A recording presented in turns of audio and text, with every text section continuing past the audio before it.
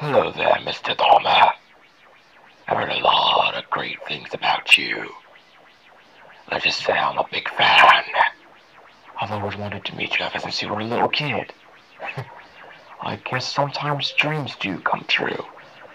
But you have been sleeping for quite a long time. It's time to wake up, Mr. Dahmer.